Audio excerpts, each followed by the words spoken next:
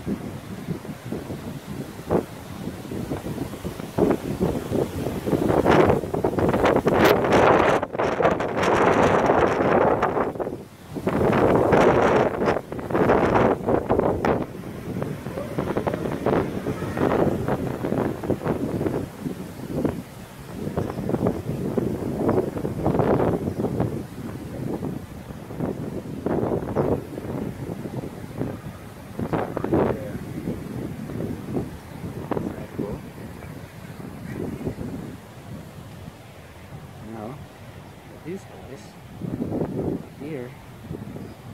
Those as well at chilling out. So I'm not going to go near them because I might be scaring them. Aren't they beautiful look at this one. These two right here so. Isn't that awesome? Hey guys what's up?